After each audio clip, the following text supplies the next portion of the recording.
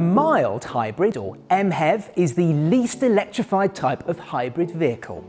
To drive, a mild hybrid feels like a normal combustion engine powered car. However, it's able to run on electric power when deaccelerating or while stopped, conserving fuel at regular intervals on your daily drive.